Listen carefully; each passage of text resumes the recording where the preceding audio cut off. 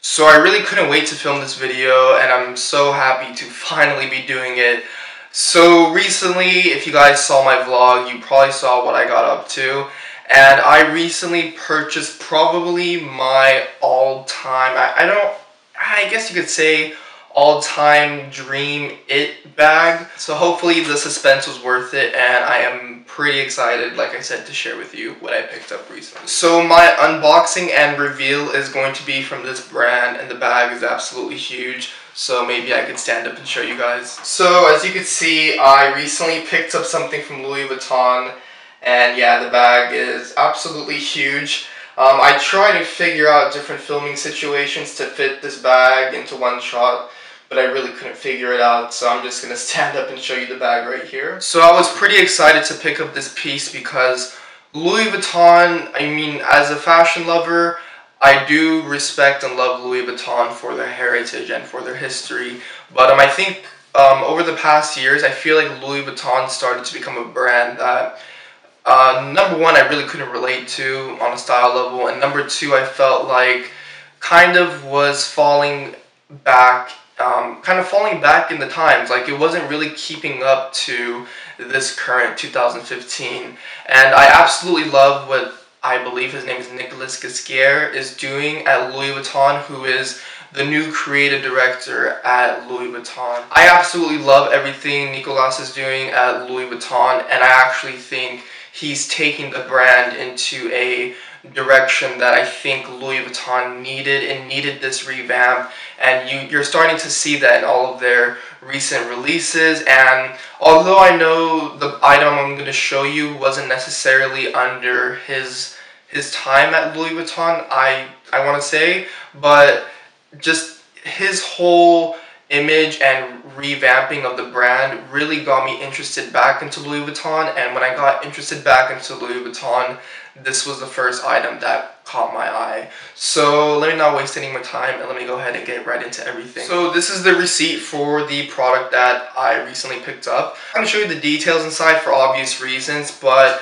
I had phenomenal service at the Louis Vuitton boutique here in Newport Beach at Fashion Island.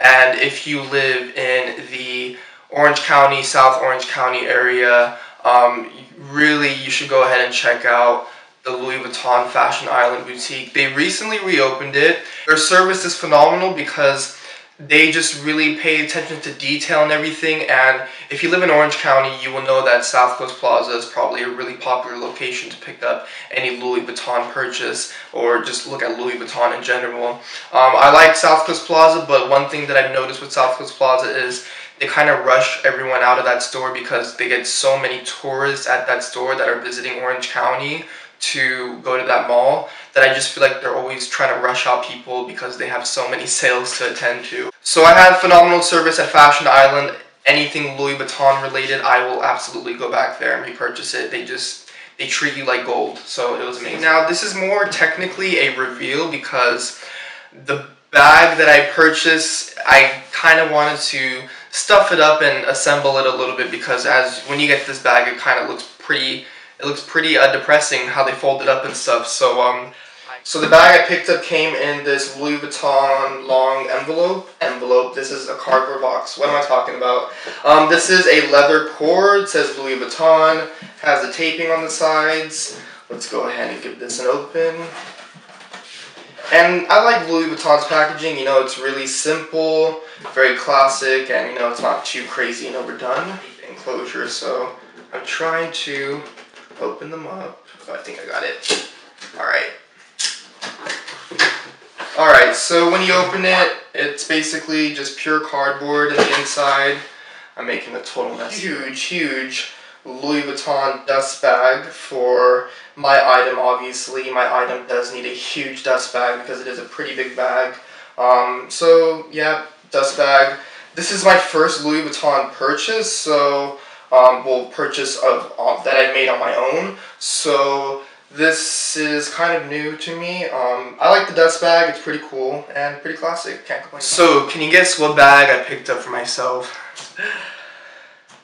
It's still pretty uh, surreal that I even have this here with me. So I picked up the Louis Vuitton Keep All 45 Bandolier in the brand new men's canvas known as the Damier Cobalt. Now the difference with the Damier Cobalt from any any line available in the Louis Vuitton canvases is this line actually launched and I think the sales associate told me January 2014 and this was a it started off as a seasonal launch with Louis Vuitton but then they actually carried it on and made it a permanent item.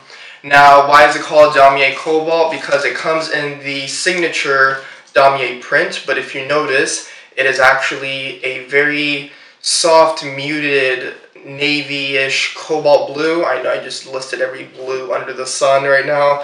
Um, it's kind of a very soft muted blue and black, a very soft black. And it's just absolutely stunning. And I'm going to go ahead and hold the bag up so you could get a better idea. Now this is the size 45. Damier Cobalt only comes in the 45 and the 55. I don't really want to review this bag too much because I'm not that familiar with it yet. Now you'll notice that the leather on this one is, it's a very soft black. The sales associate told me that the Damier Cobalt canvas has the most luxurious leather on all of the Keepalls. That is because she told me that this is actually the same leather that they use on, I believe she she said like their um, their soft leather Louis Vuitton bags, like their non-canvas bags. And that's the leather that they actually use on this one right here. So the leather on this one is a little bit more different than the Damier Ebene because the Damier Ebene, from what I saw, was quite reflective in sheen. And the other leathers, like the Vachetta and things like that, obviously, they, they turn a honey color or darker over time with oxidization and air and moisture exposure. Now this bag is silver hardware. I'm pretty sure you could see. Um, it's just so hard to show this bag. You could definitely see it's silver hardware. Um, it comes with the handle grips right here, which I will keep on the bag at all times. And it also comes with the luggage tag, which I did get my initials hot stamped onto it.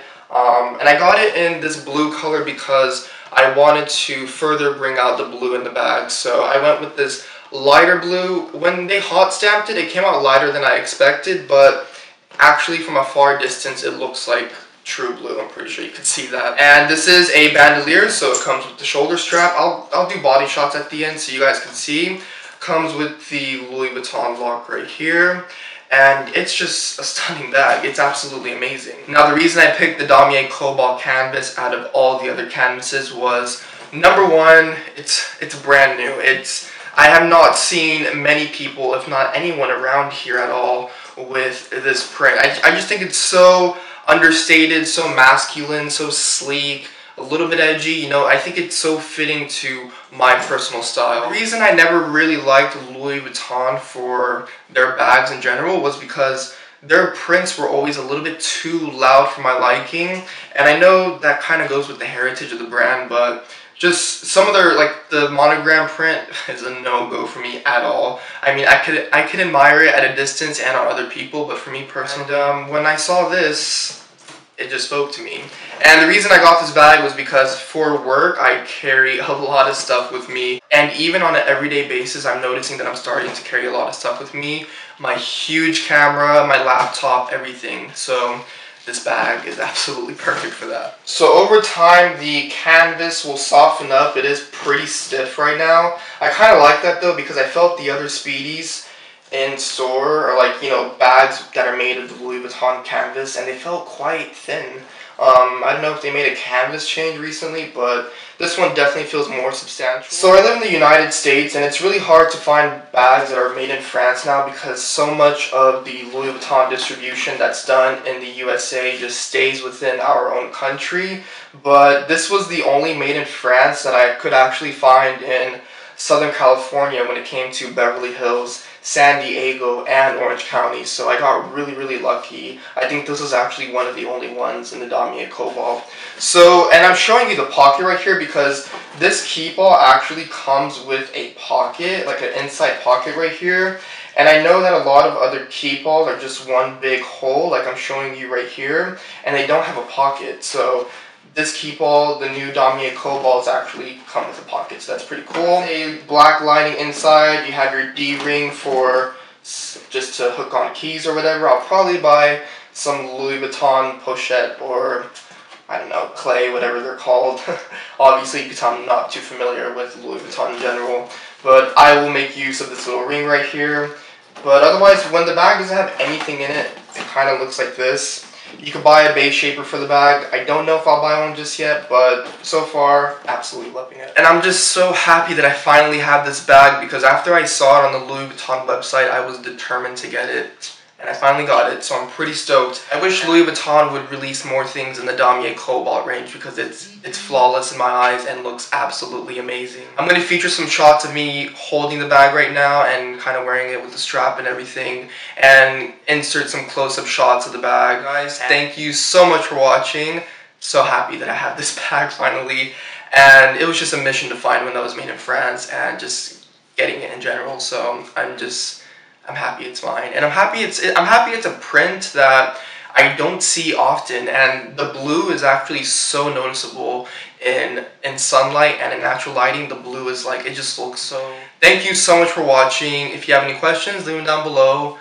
If you're eyeing this bag, absolutely get it. It's it's it just when you see it in the store, it stands out from all the other Keepalls. I mean, if you have a style or like things similar to what like I do, this bag is just like you just it's like it's you just like you know the heart emoji when you like have the heart face emoji? That's basically my face when i saw this bag. Leave all your questions down below. Thank you so much for watching and as I always say until next video i'll see you guys then